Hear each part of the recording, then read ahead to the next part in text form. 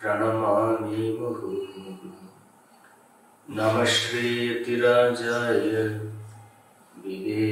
विवेकानन्दसूरये सच्चित्सुगस्वरूपाय சுவாமியே தாபஹாரிணி அனைவருக்கும் வணக்கம் முதலில் நாம் அனைவரும் இந்த உலக மக்களின் நன்மைக்காக குருதேவரிடம் பிரார்த்தனை செய்வோம். போன மாதம் இருந்த சூழ்நிலை பார்க்கும்போது இப்போ இருக்கிற சூழ்நிலை மிகவும் மோசமாகி நமது உற்றார் உறவினர் தெரிஞ்சவர்கள் பக்தர்கள் வாலண்டியர்ஸ் மற்றும் கிட்ட இருக்கிற எல்லா குடும்ப உறுப்பினர்கள் எல்லார் வீட்டிலையும் சில பேர் வீட்டில் இந்த நோய் தொற்றின் காரணமாக மிகவும் அவதிக்குள்ளாயிருக்கின்றன. சில இடங்களில் மரணமும் ஏற்பட்டிருக்கிறது. இந்த மக்கள் அனைவரும் விரைவில் இயல்புக்கு வந்து இந்த உலகமே பழையபடி ஒரு நல்ல நிலைக்கு வர்றதுக்காக தினந்தோறும் காலையிலும் மாலையிலும் குருதேவரிடம் நாம் மனமாற பிரார்த்தனை செய்வோம். நம்மால் முடிந்த ஜபம் செய்து அதை குருதேவருக்கு அர்ப்பணம் செய்வோம். நமது கடந்த வகுப்பில் குருதேவருடைய இல்லற பக்தர்கள் தம்பதிகள் நவகோபால் கோஷ் மற்றும் நிஸ்தாரணி தேவி அவர்களை பற்றி நாம் பார்த்திருந்தோம். இல்லற வாழ்க்கையில் இருந்திருந்தாலும் மிக உயர்ந்த ஒரு ஆன்மீக நிலையை அவர்கள் அடைந்திருந்தனர். குறிப்பாக அந்த அம்மையார் தனது குருதேவரின் மறைவிற்கு பின்பும் தனது கணவரின் மறைவிற்கு பின்பும் அன்னையரிடம் வந்து அதன் பிறகு அன்னையின் மறைவிற்கு பிறகு வேலூர் மடத்துக்கு அடிக்கடி வந்து அங்கிருந்த மிகப்பெரிய சாதுக்களை தான் ஆசீர்வாதம் செய்து கொண்டு இருந்தார். அப்படிப்பட்ட ஒரு சக்தியை குருதேவர் அவருக்கு அளித்திருந்தார். இதெல்லாம் நமக்கு ஒரு சாதாரண இல்லற பக்தர்களுக்கு இது ஒரு மனதுக்கு ஒரு உற்சாகத்தை கொடுக்கும் ஒரு வாழ்க்கை சரித்திரம். ஆகவே இல்லறத்தில் இருந்தாலும் எந்த அளவுக்கு உயர்ந்து ஆன்மீகத்தில் வரலாம் என்பதற்கு இந்த மாதிரி எண்ணற்ற பக்தர்கள் வாழ்க்கை நமக்கு உதாரணம். வரும் காலங்களில் அவற்றில் சிலவற்றை நாம் காண்போம். அதேபோல் எண்ணற்ற இல்லற பக்தர்கள் மற்றும் துறவர சீடர்களை அன்னையோரும் தனது வாழ்நாளில் உருவாக்கியிருந்தார். ஜெயராம்பாடியில் அன்னையோட வீட்டில் வீட்டின் வாசலில் ஒரு போர்டு போட்டிருக்கும் இன்றளவும் பார்க்கலாம். இங்கிருந்து தான் இந்த வீட்டிலிருந்து தான் அன்னை தனது எண்ணற்ற சீடர்களை உருவாக்கி அவர்களுக்கு பிரம்மச்சாரியம் மற்றும் சன்னியாச தீட்சை வழங்கினார் என்று அந்த வீட்டு முன்னால் பெரிய போர்டு இருக்கு. இன்றளவும் இருக்கிறது. அப்படி பெரிய ஒரு தவ கூட்டத்தை அன்னை உருவாக்கியிருக்காங்க. அன்னையின் சீடர்களில் பல பேர் பிற்காலத்தில் நமது மடத்தின் பொது தலைவர்களாக பிரசிடென்ட்ஸாக வந்திருந்தனர். பல பேர். சுவாமி விரஜானந்தரி சுவாமி மாதவானந்தர் சுவாமி வீரேஸ்வரானந்தர் சுவாமி விசுத்தானந்தர் போன்ற எண்ணற்றவர்கள் பிரசிடெண்ட்டாக இருக்கிறாங்க அது தவிர்த்து எண்ணற்ற சந்நியாச சீடர்கள் ஆன்மீகத்தில் மிக உயர்ந்த நிலையை அடைந்திருக்கின்றனர் எண்ணற்றவர்கள். அந்த எண்ணற்ற ஒரு சீட சன்னியாசி சீடர்கள் ஒருவரை பற்றி இன்று நாம் சற்று பார்ப்போம். அவர் அந்நியாரிடம் எப்படிப்பட்ட ஒரு அன்பை பெற்றார் ஒரு இளைஞர் கல்கத்தாவில் அடிக்கடி வேலூர் மடத்துக்கு வருவார்.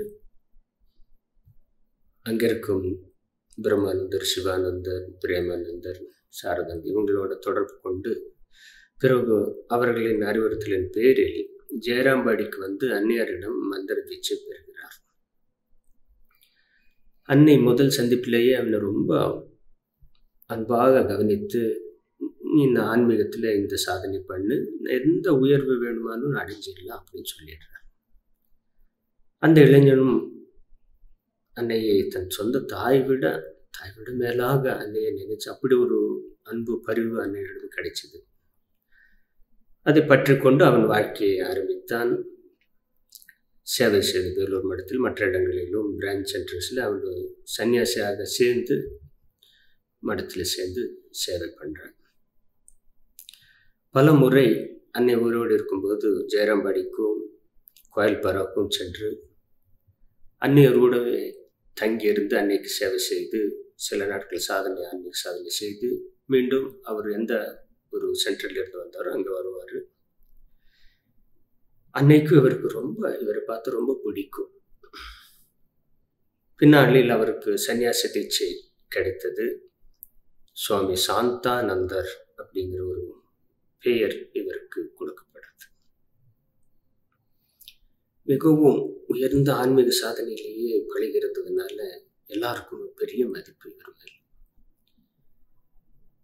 அப்புறம் அன்னையும் தனது பூத உடலை விடுத்து போகிறதுக்கு முன்னால் இவர் அன்னையர்கிட்ட பே போய் பேசுகிறாரு அம்மா நீங்கள் இப்போ உயிரோடு இருக்கிறதுனால ஏதாவது ஒரு விஷயம் என்ன பேசணும் சந்தேகம் கேட்கணும் அப்படின்னா நேரடியாக உங்ககிட்டே வந்துடுறேன். அதனால் நீங்கள் நேரடியாகவே எனக்கு சொல்லிடுவீங்க. எனக்கு சந்தேகமும் கஷ்டங்களும் தீர்ந்து போகுது. உனது மறைவுக்கு அப்புறம் நான் எப்படி என்ன பண்ணுறது சொல்லுங்களேன் அப்படின்னு சொல்லி ரொம்ப இயல்பாக ஏதாவது அம்மா ஏதாவது ஊருக்கு போனால் நீ வர்ற வரைக்கும் நான் என்ன பண்ணணுமா? அப்படின்னு குழந்த அம்மாவை கேட்டால் நீ இப்படி இரு. நீ அந்த மாதிரி பண்ணி. அவர் கூட இரு. இல்லை அவர் வீட்டில் இரு. யாராவது ஊர்லேருந்து போகும்போது நம்ம அந்த அம்மா சொல்லிட்டு போவான் ஏதாவது ஒரு யாத்திரை போகும்போது அந்த குழந்தைங்கள மற்றவங்கள ஒப்படைச்சு போன மாதிரி.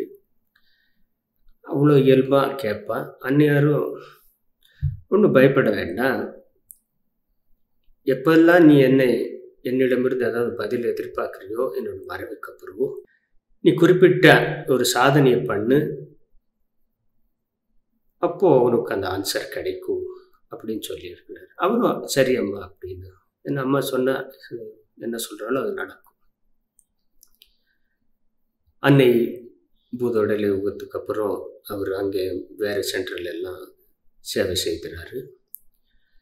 அப்புறம் நமது காசி மடத்தில் இருந்து சேவை செய்யும்போது அவர் கொஞ்சம் உடல்நிலை சரியில்லாமல் ஆகுது. சுவாமி சாந்தானந்தருக்கு. அங்கே இருக்கிறவங்க அங்கே காசிலேயே நமக்கு ஒரு ஆஸ்பத்திரி இருக்குது அங்கே மருத்துவம் எல்லாம் பார்க்குறாங்க இருந்தாலும் உடனே அவ்வளோ நல்லா ஆகலை. ஸோ இவருக்கு இவருடைய சே இவருடைய காரியங்களை இவராலேயே பண்ண முடியாத ஒரு சூழ்நிலை வந்துடுது. அப்படி ஒன்றும் ஏஜ் ஆகலை. ஆனால் இந்த இந்த நோய் காரணமாக அவரால் அந்த மாதிரி பண்ண முடியாத. வந்ததுனால வேலூர் மடத்திலிருந்து ஒரு பிரம்மச்சாரியை அனுப்பி வைக்கிறாங்க. அந்த பிரம்மச்சாரி கிட்ட அப்போ இருக்கிற அந்த இருந்த அந்த சுவாமிகள் எல்லாம் சொல்லுவாங்க எப்பா பார்ப்பா நீ போய் இந்த மாதிரி சுவாமி சாந்தானந்தருக்கு நீ சேவை செய்யணும். அவருக்கு உடம்பு சரியில்லை. அவருக்கு என்ன நோயுங்கிறது இவங்க சொல்லுவாங்க. மனசார சேவை பண்ணு. அவர் எப்பேற்பட்ட ஒரு ஆன்மீக சாதகர் என்று தெரியும். அன்னையனுடைய அன்பு குழந்தைங்க. நல்லா கவனிச்சுக்கோ அப்படின்னு சொல்லி அவருக்கு ஆசீர்வாதம் செய்து வேலூர் மடத்திலிருந்து அந்த பிரம்மச்சாரி சலீல் அப்படின்னு சொல்லி அப்போ ஒரு பிரம்மச்சாரி இருப்பார். அவரை அனுப்பி வைக்கிறாங்க. அந்த பையனும் நல்லா சந்தோஷமாக போய் காசியில் அவருக்கு சேவை பண்ணுறாரு ஒரு கொஞ்ச நாள் சேவை பண்ணாலும் உடல்நிலையில் முன்னேற்றம் ஏற்படல. கொஞ்சம் மாதக்கணக்காக பண்ணாலும் கூட ஒன்றும் முன்னேற்றம் ஆகலை. அப்புறம் இந்த டாக்டருங்க காசியில் இருந்த சுவாமிஜிகளும் மற்றும் டாக்டருங்களும் இந்த நோய்க்கு அந்த டைமில் மருந்து இல்லை. அதனால் இன்னும் கொஞ்சம் அந்த நோய்க்கான ஒரு நோய்க்கான ஒரு ஆஸ்பத்திரிகள் இருக்குது அங்கே போய் வைத்தியம் பண்ணலாம்னு சொல்லி இமாச்சல பிரதேசத்தில் ஒரு இடத்துல இவரை கூப்பிட்டு ஒரு பரந்த வழி அதில் சின்ன சின்ன வீடுகள் மாதிரி அங்கேருந்து இந்த நோய்க்கு மருத்துவம் பார்க்கலான்னு சொல்லி இவர் அங்கே ஷிஃப்ட் பண்ணுறாங்க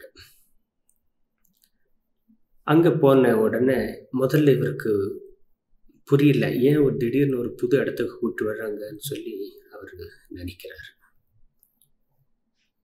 ஸோ அன்னைக்கு கேட்குறாரு ஏன்ப்பா என்ன இந்த புது இடத்துக்கு வந்துட்டு சொல்லுது. அவருக்கு என்ன நோய்ங்கிறது அன்னைக்கு சொல்லலை. அது வரைக்கும் சொல்லலை. அப்புறம் ஒரு சாயந்தரம் ஆன உடனே அந்த பிரம்மச்சாரி சலீல் இத்தனை நாள் காசியில் இவருடைய ரூம்லேயே சேவை செஞ்சு இவருக்கு ஆகாரம் கொடுத்து அவர்களுடைய சேவை எல்லாம் பண்ணி அவர் துணி துவைப்பது சாப்பாடு ஊட்டுவது ரூம் க்ளீன் பண்ணுறது எல்லாமே பண்ணி அந்த ரூம்லேயே படுத்துப்பார். அவர் சாமி கட்டில் இருப்பார் இவர் கீழே தரையில் சேவை பண்ணுறத படுத்து எப்போதுமே அங்கேயே இருப்பார். ஆனால் இந்த புது இடத்துக்கு வந்த உடனே இந்த பிரம்மச்சாரிக்கு தனி ரூமில் இருக்கிறதுக்கான ஏற்பாடு அப்போது அந்த சாமி கேட்குறாரு சாந்தானந்தி ஏன் இப்படி? இங்கே ஏன் நீ இருக்கல? அப்படின்னு இயல்பாக கேட்குறாரு அவர் சொல்கிறாரு டாக்டருங்க இப்படி தனி ரூமில் இருக்கட்டும் அப்படின்னு சொல்கிறார் சாமிஜிக்கு ஒன்றும் புரியல. அப்புறமா கொஞ்ச நேரம் கழித்து அவர் அப்படி அந்த ஆஸ்பத்திரிக்கு கொஞ்சம் வெளியில் அப்படி கொஞ்சம் வந்து பார்க்கும்போது தான் தெரியுது.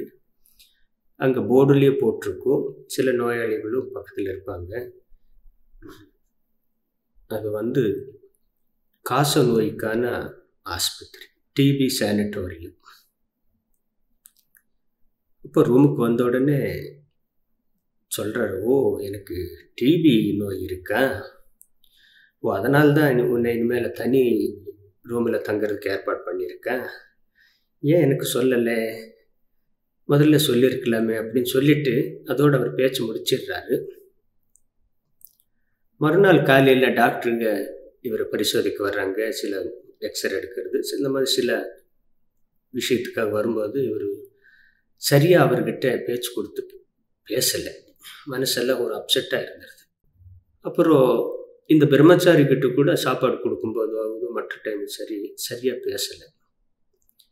அத்தனை நாள் வரைக்கும் நல்லா தான் இருந்தார்.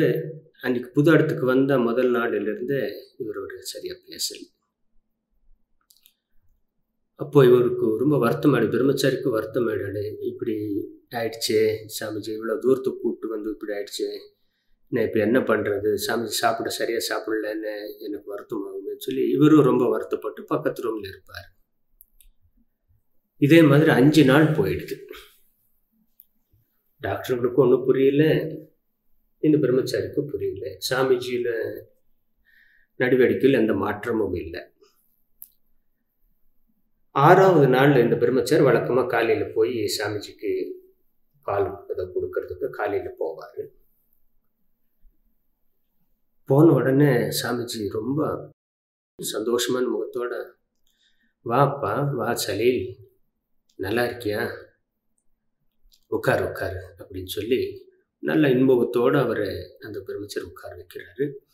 அவர் அந்த பால் கொடுக்குறாரு இவர் சந்தோஷமாக சாப்பிட்றாரு. அப்போ இந்த பிரம்மச்சாரிக்கு ஒரு சந்தோஷம் உள்ளூர் சந்தோஷம். அவர் கண்ணில் தண்ணீரோட சொல்லுவார். இந்த அஞ்சு நாள் உங்களுக்கு என்ன ஆச்சு மகாராஜ்? நீங்கள் பேசவே இல்லையே அப்படின்னு கேட்குறாரு ஓ அப்படியா? அது உங்களுக்கு வருத்தம் ஆயிடுச்சா இந்த பாரு. எனக்கு டிபி நோய் இருக்குன்னு தெரிஞ்ச உடனே எனக்கு ரொம்ப வருத்தம் ஆயிடுச்சு ஏன் வருத்தம்னா எனக்கு ஓரளவு வயசாகிடுச்சு இன்னும் கொஞ்ச நாளில் இறந்து போனாலும் பரவாயில்ல. ஆனால் இந்த டிபி நோய் வந்து ஒரு ரொம்ப க்ளோஸ் காண்டாக்ட் இருக்கும்போது இது வந்து தொற்று நோய். இது மற்றவங்களுக்கும் அது வர்றதுக்கு வாய்ப்பு இருக்குது அதுவும் நான் நீ எனக்கு ஹார்லிக்ஸ் எல்லாம் கலந்து கொடுக்கும்போது ஓல்டே நீ ஒர்க் பண்ணிவிட்டு எனக்கு காலையில் மேலே ஹார்லிக்ஸ் கலந்து கொடுக்கும்போது நீ டயர்டு இருக்கிறத பார்த்து பாதி டம்ளர் ஹார்லிக்ஸை நான் சாப்பிட்டு மீதியை உனக்கு நான் கொடுத்துட்டு இருந்தேனே. நீயும் அதை எந்த மறுப்பு சொல்லாமல் நீயும் சாப்பிட்டுட்டு இருந்தேன் ஆனால் அதான் எனக்கு ரொம்ப பயமாயிடுச்சு. இந்த நோய் காரணமாக நான் இருந்து போனாலும் பரவாயில்ல பட் நீ சின்ன பையன் இன்னும் எவ்வளவோ சேவைகள் பண்ண வேண்டியிருக்கு. இதனால் உனக்கு பாதிப்பு வந்துடக்கூடாதுன்னு சொல்லி எனக்கு வேதனை ஆயிடுச்சு. அதனால தான் நான் அஞ்சு நாளாக அந்நியார்கிட்ட விடை கேட்டு அந்நியார்கிட்ட பிரார்த்தனை பண்ணிட்டு இருந்தேன் நேற்று காலையில் நேற்று ராத்திரி அன்னையார் நேரடியாக வந்து கேட்டாரு. என்ன வேணும்? அப்படின்னு வந்து வந்து கேட்டாங்க. நான் அந்நியார்கிட்ட சொல்லி அம்மா உனக்கு தெரியும் நான் உன்னுடைய ஒரு சிறிய குழந்தை. உன்னுடைய மறைவுக்கு முன்னால் நீயே சொல்லிட்டு போயிருக்கேன்.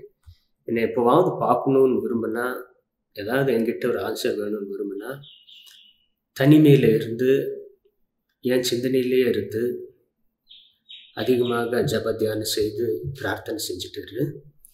நான் உன் முன்னால் தோன்றேன்னு நீ சொன்னேன்.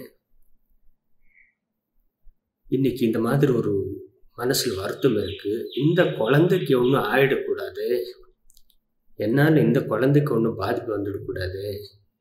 இந்த பையனுக்கு எதாவது பாதிப்பு வந்துடுமா? அப்படி இருந்தால் நீ அதை நீ விளக்கணும். அதுக்காக தான் உங்ககிட்ட பிரார்த்தனை செய்து நீ வந்தது ரொம்ப சந்தோஷம் அப்படின்னு சொல்லுது அன்னியாரும் அவர் முன்னால் தோன்றி அந்த குழந்தைக்கு ஒன்றும் ஆகாது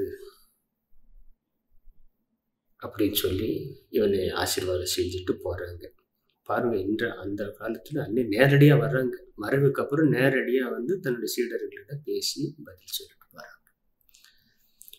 அண்ணன் ராத்திரி வந்து இப்படியெல்லாம் சொல்லிட்டு போயிட்டப்பா உனக்கு ஒன்றும் ஆகாதுன்ட்டாங்க. என்னுடைய எச்சியில் நீ சாப்பிட்ருந்தாலும் உனக்கு ஒன்றும் ஆகாதுன்ட்டாங்க. அதனால் எனக்கு இப்போ சந்தோஷம் அப்படின்னு சொல்கிறார் அந்த விஷயம் அவருக்கு சொன்னதுக்கப்புறம் அவரும் சந்தோஷப்படுவார். அப்புறம் வேலூர் மடத்துலேயும் இந்த விஷயத்தை சந்தோஷம் எடுத்துக்கிறாங்க அதுக்கப்புறம் அந்த அவருடைய நோய் குணமாகுது. அவர் திரும்ப வர்றாரு. அப்புறம் அந்த மீன் டைம் வந்து அவர் வந்து ஓய்வு எடுக்கிறதுக்கு நம்முடைய ராஞ்சி இப்போ ஜார்க்கண்ட் மாநிலத்து ராஞ்சியில் வந்து இந்த மாதிரி ஒரு சூழ்நிலை வரும்போது நம்ம சாதுகளுக்கும் மற்ற அந்த ஏழை மக்களுக்கும் பணியாற்ற சேவை செய்வதற்காக அங்கேயே ஒரு டிபி சானிட்டோரியம் பண்ணணும் அப்படின்னு சொல்லி ஒரு டிபி சானிட்டோரியம் காசுமைக்காக ஆரம்பிக்கிறாங்க. அந்த காலத்துலேயே ஆரம்பித்தாங்க நாற்பதில். ஸோ அது இன்றளவும் இருக்குது ரொம்ப நல்லா இருக்குது நம்ம தமிழ்நாட்டை சேர்ந்த சாமி தான் ரொம்ப நாள் அங்கே இருந்த பொறுப்பில் இருந்தார். இப்போ அவர் அயர்லாண்டில் இருக்கிறாரு. இப்போ வேறு சாமி இருக்காங்க. பெரிய சேவை அங்கே நடக்குது டிபி பேஷண்ட்டுக்காக ராமகிருஷ்ண மிஷனுடைய முக்கியமான சென்டர் அப்புறம் அவர் அங்கே கூப்பிட்டு வந்து அங்கே வச்சு கொஞ்சம் ட்ரீட்மெண்ட் பண்ணுறாரு அவர் நல்லா ரெக்கவர் ஆகிட்டு இருக்காரு. அவர் ரொம்ப நாள் அங்கே இருந்தார். அங்கே இருக்கிற சாமிகளுக்கு உதவி பண்ணிவிட்டு தனக்கு ட்ரீட்மெண்ட் எடுத்துகிட்டு இருந்தார். இந்த நேரத்தில் திடீர்னு கொஞ்ச நாளுக்கு அப்புறம் அந்த டிவி சானிட்டோரியத்திலிருந்து ஒரு பொறுப்பு சாமிஜி அந்த செக்ரட்டரி சாமிஜி ஒரு நாள் எப்போதுமே வந்து இந்த சாந்தானந்தரை வணங்குவது வழக்கம். காலையில் வந்து வணங்குறது போது ஒரு நாள் ரொம்ப அவரோட முகம் ரொம்ப சோகமாக இருந்தது. சாந்தானந்தி அவரை கேட்குறாரு என்ன ஆச்சுப்பா ஆச்சு? இப்படி முகெல்லாம் சோகமாக இருக்கே? அப்படின்னு கேட்கும்போது இல்லை இந்த சேவை ரொம்ப நல்லா நடந்துகிட்டு இருக்கு ஆனால் இப்போது பண உதவி ரொம்ப வருவது ரொம்ப கம்மியாக இருந்தது செலவுகள் அதிகமாக இருக்குது அதனால் சேவையை தொடர்ந்து செய்கிறதுக்கான வசதிகள் இல்லை. ரொம்ப முயற்சி பண்ணி நல்லா வரல. ஆகவே இந்த டிபி சானிட்டோரியத்தையும் மூடிடலாமா அப்படின்னு நான் நினச்சிட்டு இருந்தேன். இப்படிப்பட்ட ஒரு சேவையை மூடிட்டு போகிறதுக்கும் மனசு வரல. ஆனால் வேறு வழியும் தெரியல.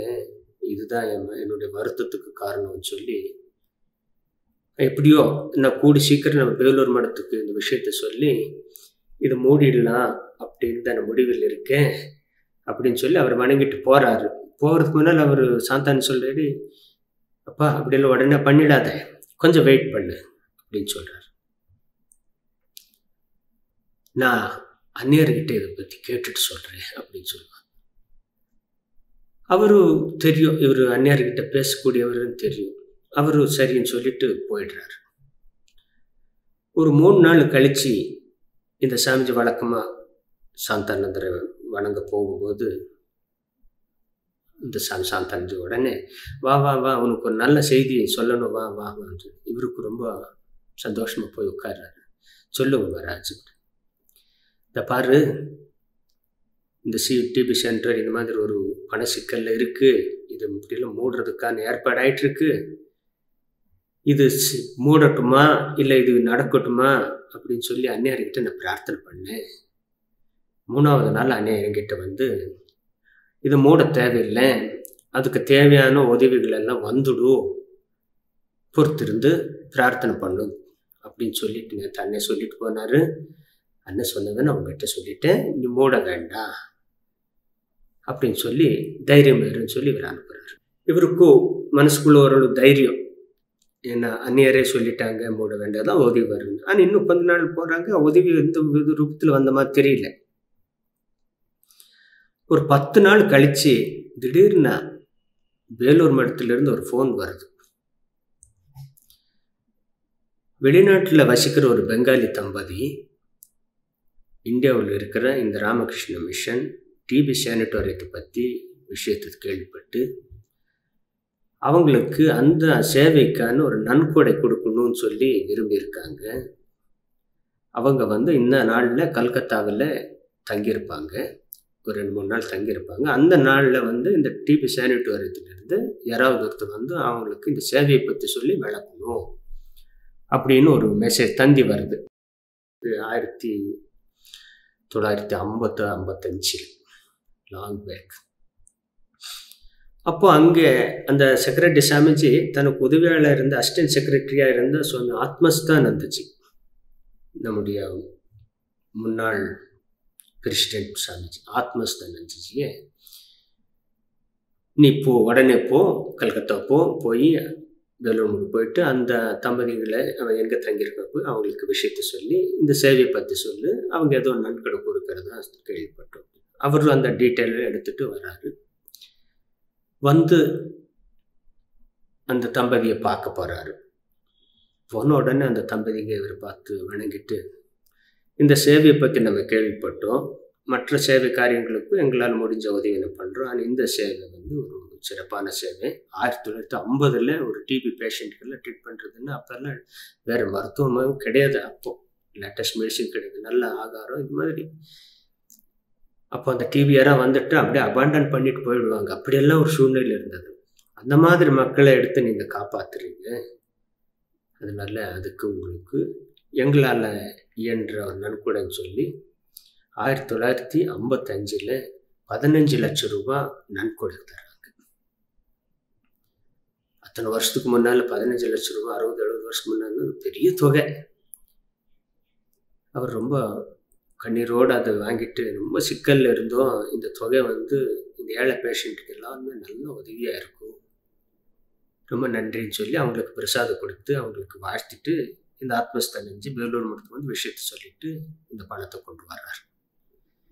வந்து சாந்தா நெஞ்சுக்கிட்ட வந்து சொல்கிறாங்க இந்த பாருங்க இந்த மாதிரி யாரோ ஒரு தம்பதி வந்து நமக்கு இப்படி உதவி பண்ணணும்னு நினச்சி பண்ணியிருக்காங்க. பதினஞ்சு லட்சம் ரூபாய் நமக்கு கொடுத்துருக்காங்க. இப்போ சாந்தடிச்சா அம்மா அன்னைக்கே சொன்னார். அன்னியார் அன்றைக்கே சொல்லிட்டாங்க. இதெல்லாம் மூட வேண்டாம் கொஞ்சம் பொறுத்து எடுத்து பிரார்த்தனை பண்ணுங்க. அதுக்கான உதவி வந்துடும் சொன்னான் ரொம்ப சந்தோஷம். இதை வச்சு நீங்கள் பண்ணிடுங்க. இனி இதை ஒன்றும் மூடுறதுக்கோ இது பண்ண வேண்டாம். இதுக்கான இது நல்ல சேவைக்கான உதவி ஏதோ ஒரு ரூபத்தில் வந்துடும். நல்லா பண்ணிடும் அன்னையிலிருந்து அந்த இதுக்கு கஷ்டமே இல்லை. அந்த சேவை தொடருது. நீங்களும் வெப்சைட்டில் பார்க்கலாம். ராமகிருஷ்ண மிஷன் டிவி சானிட்டோரியம் பிரான்ச்சின்னு சொல்லி. ரொம்ப நல்ல சேவை நடக்கும்.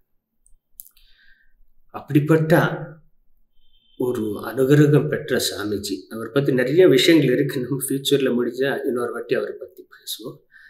அப்படிப்பட்ட அந்த சாந்தானஞ்சிக்கு சேவை பண்ண அந்த பிரம்மசாரி சலீல் வந்து இன்னும் இருக்கிறாரு. அவர் தான் நம்ம ராமகிருஷ்ணா மிஷன் சிட்னி ஆசிரமத்தின் தலைவராக இருக்கார் சுவாமி ஸ்ரீதரானந்த சுவாமி. அவருக்கும் தொண்ணூறு வயசு தாண்டிடுச்சு இன்னைக்கு. நல்லா இருக்கிறாரு. அவருடைய நிறைய வீடியோக்கள் எல்லாம் யூடியூப்பில் கிடைக்குது. அவருக்கு அன்னைக்கு அந்நியார்கிட்ட அவர் பிரார்த்தனை பண்ணியிருந்தார். அத்தனை வருஷத்துக்கு முன்னால். அறுபது எழுபது வருஷத்துக்கு முன்னால். இந்த பையனுக்கு என்னுடைய நோய் தொற்று வந்துடக்கூடாதம்மா. அந்நியர் ஒன்றும் வராது. அவன் நல்லா இருப்பான். நல்லா சேவை பண்ணுவான்னு அந்நியர் இவருக்கு அஷூரன்ஸ் கொடுத்துருந்தார். அவர் இன்றளவும் சிட்னியில் ஆஸ்திரேலியாவில் அவர் சேவை பண்ணிட்டு இருக்கிறார். பெரிய பாக்கி. அந்நியர் வாழ்த்து வீண் போகுமா என்ன? அன்னையருடைய பிள்ளைகள் பல பிள்ளைகளும் இவரும் ஒருவர். நினைச்ச மாத்திரத்துல பிரார்த்தனையால அன்னையை நேரடியாக வரவேற்கிற சக்தி இவருக்கு இருந்திருக்கு. அன்னையை நாலஞ்சு நாள் மனசார கூப்பிட்டுட்டா அண்ணன் நேரடியாக வந்து காட்சி கொடுக்குறாரு. இவரும் அப்படி பண்ணியிருக்கிறாரு. அப்படின்னா அந்த தெய்வங்கள் எல்லாம் இந்த டவுர்மா சாமிஜி எல்லாம் எந்த அளவுக்கு இன்றளவும் உயிரோடு இருக்காங்கிறதுக்கு இதெல்லாம் நமக்கு ஒரு உதாரணம். நம்ம எப்போதுமே எந்த ஒரு இக்கட்டான சூழ்நிலை வந்தாலும் நம்பிக்கை இழக்காம உண்மையான பிரார்த்தனையோடு நம்ம இருந்தால் அதுக்கான ஆன்சர் வந்தே தீரும். அதுக்கு இதெல்லாம் ஒரு உதாரணங்களாக இருக்குது ஆகவே இந்த நோய் கொரோனா நோய் காலத்தில் நம்ம எல்லாரும் மனசார வேண்டுவோம் மக்களுடைய துயரங்கள் போகட்டும் மக்களுக்கு நல்ல சூழ்நிலை வரட்டும்னு வேண்டுவோம் அதுக்கான ஒரு சூழ்நிலையை அவர்கள் கண்டிப்பாக உருவாக்கி தருவார்கள். மீண்டும் அடுத்த முறை சந்திப்போம். ओम शांति शांति शांति हरि ओम तत्सत। श्री राम कृष्णा प्रणमस्तु